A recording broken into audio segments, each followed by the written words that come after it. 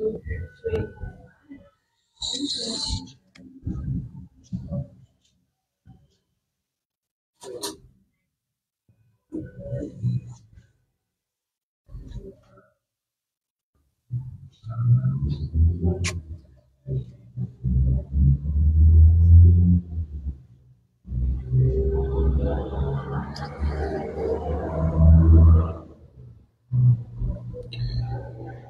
buenas noches a todos nuestros seguidores de Prensa Chalaca TV.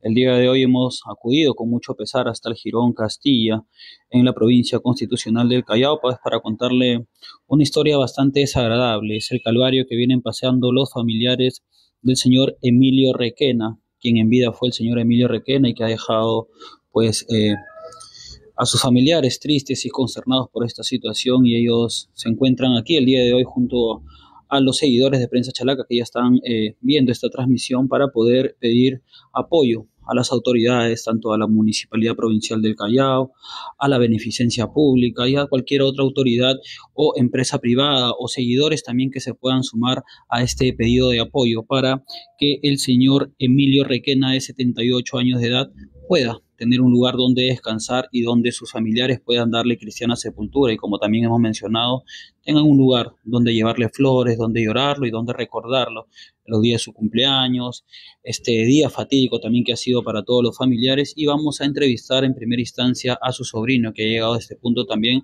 para poder contarnos brevemente el calvario que vienen pasando tras la muerte del señor Emilio Requena, de 78 años de edad. Caballero, muy buenas noches. Estamos en vivo para Prensa Chalaca. ¿Su nombre, por favor? Mi nombre es Efraín Vilca, mi apellido Requena. Correcto. El día de hoy, primero que todo, las más sentidas condolencias, ¿no? En nombre de todo Prensa Chalaca, estamos aquí para poder llevar la voz de todos ustedes y el señor Emilio Requena, que eh, no tiene un nicho para poder enterrarse. Cuéntenos un poquito más, por favor. Lo que quisiera es que, ¿cómo se llama? A ver si es que nos pueden apoyar, por favor, para que mi tío pueda tener una cristiana sepultura. Más que todo que se pueda enterrar acá en el cementerio Vaquijano del Callao, como buen chalaco que es. Espero que por, favor este, el señor este, alcalde Pedro Espadar nos pueda dar su apoyo. Correcto. El señor Emilio Requena Chalaco, él vivía aquí, ¿a qué se dedicaba? ¿Cuál fue eh, la situación en que eh, él perdió la vida? Bueno, ya él era jubilado, ¿no? Entonces, este, ya, su, este, ¿cómo se llama? Una penosa enfermedad ya lo venía ya lo venía, claro. ¿Y cuándo fue que él perdió la vida? El día 13. ¿El día, ¿Cuándo? El día 13. El día 13. en este momento todavía no han podido llevarlo a un lugar para... De paro cardiorrespiratorio. Correcto. Usted no mencionaba que él es eh, jubilado. Me imagino que la pensión está... ¿Cómo están? ¿no? Y entonces yo quisiera nada más que nos ayude, por favor. Y usted sabe también de que, ¿cómo se llama? De que ellos han pasado un momento bien difícil. Solamente vivía él que ya falleció, y mi tío que está acá, ¿no? que ellos son personas este, solteras ¿no? y han vivido toda su vida acá. Y por eso que espero que, como se llama, que el señor alcalde Pérez Pagara nos dé el apoyo correspondiente. Es triste tener que contar este, la, la, penosa jubilación que recibía para poder vivir, ¿no? que actualmente no le alcanza ni siquiera para poder cubrir un nicho. Lógico, usted sabe cómo están las pensiones, todo bueno, ¿no? Entonces lo que estamos pidiendo es la ayuda necesaria para ellos, para que como jamás se pueda enterrar bien mi tío. Correcto. Vamos a conversar también con su hermana, señora. Señora, muy buenas noches. Estamos en vivo para Prensa Chalaca TV. Primero que todo, nuestras más sentidas condolencias. Sabemos el dolor que debe estar pasando y ahora también la incertidumbre de no saber eh, dónde va a enterrar a su señor hermano. Cuéntenos, ¿cómo era la relación que usted llevaba con su hermano? No, ellos todos vivían juntos. Muy bueno con, con mi hermano. Correcto. El señor eh, vivía aquí solo con su hermano, me dice, ¿verdad? Con el señor. Correcto. El señor, eh, ellos dos se veían solos, ¿cómo hacían para poder sobrevivir día a día? Los dos lo más bien. Yo soy viuda, pero yo vivo separada. Correcto. Y ahora eh, que el señor ya ha partido, me imagino que usted lo va a extrañar, no va, va a tener mucho pesar para poder este, venir aquí y ya no verlo. Así es. Correcto, ¿Qué le pediría usted entonces a las autoridades para que puedan brindarle el apoyo? o gente caritativa también que lo ayude, bueno, para poderlos darle su santa sepultura y descanse su cuerpo. Correcto. Él durante el tiempo que él vivía acá, este, solamente recibía atención por parte de ustedes, de sus familiares, no recibía mayor apoyo. Nos ha comentado su sobrino ya que él pues tenía una pensión, pero esta pensión que muchas veces a los jubilados no le alcanza ni absolutamente para nada muy poquito, de la 19,990. Correcto. ¿Usted pudo conversar con el señor eh, poco antes de fallecer? ¿Habló con usted? ¿Conversaba con usted? ¿Qué le decía? ¿Qué le contaba el señor? Sí, que ya se sentía bien, bien malito, pues, ¿no? Ya parece que ya le dio este un infarto, ¿no? Un paro cardíaco. Paro cardíaco. Sí, sí. Él llegó aquí, este, falleció aquí, lo tuvieron que trasladar al hospital. No, no, no, acá falleció. Falleció en Sí, acá en su casa. en falleció. domicilio. Correcto, él no tenía hijos, no, tenía... Soltero, soltero, los dos son solteros, sí.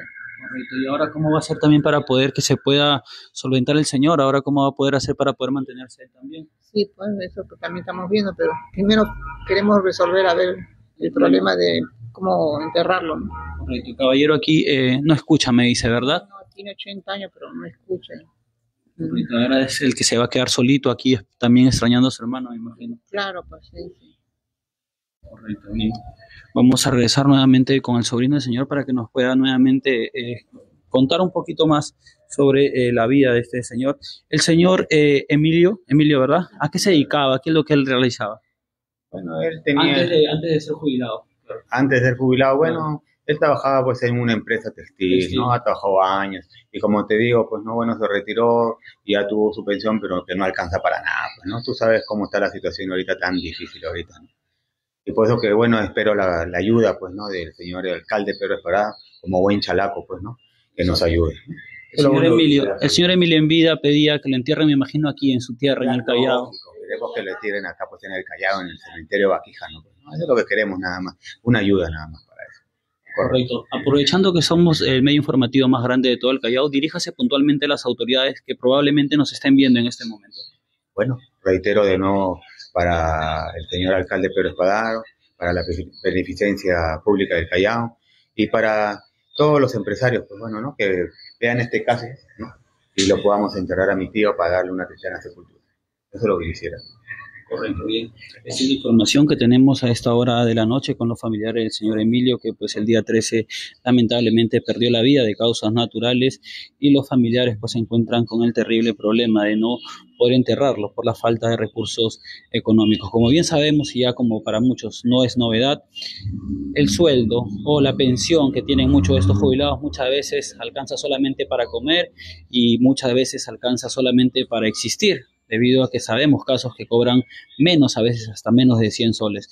Es la información que tenemos a esta hora de la noche y hacemos y reiteramos el pedido a todos los alcaldes de la provincia constitucional del Callao, al alcalde de La Perla, de Bellavista, del Callao, al presidente de la Beneficencia, el señor Portilla, también para que pueda hacerse presente y corroborar la situación en la que vivía el señor Emilio, que el día de hoy pues deja también solo a su hermano de más de 80 años de edad, totalmente sordo el señor y pues esta es una situación que más allá de lo que tienen que vivir el día de hoy, van a tener que solucionar también el problema de poder, quién va a tener que ver a este señor también que va a quedar solo tras la muerte de su hermano, quien era que lo acompañaba día a día. Así que nuevamente reiteramos el pedido a todas las autoridades, a la municipalidad, ¿por qué no al gobernador regional?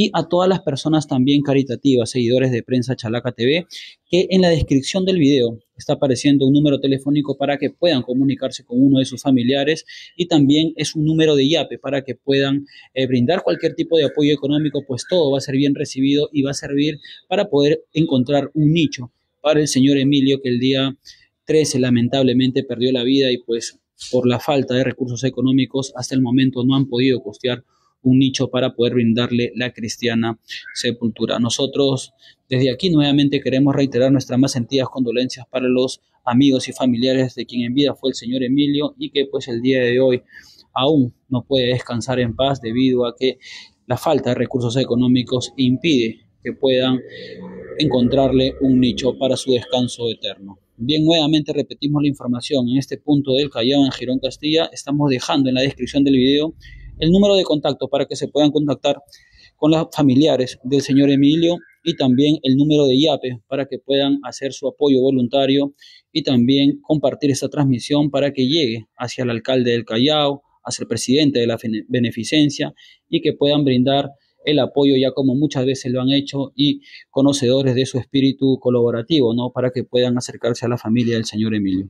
Bien, nosotros con esta información vamos a constituirnos hacia otro punto de la provincia constitucional del Callao para poder llevarle más información. Invitamos a todos nuestros seguidores a que puedan compartir esta transmisión para que Machalaco sepan lo que viene sucediendo y no se olviden que juntos somos la fuerza informativa más grande de todo el Callao. Desde el Girón Castilla, transmitió para Prensa Chalaca TV, Josep Rojas.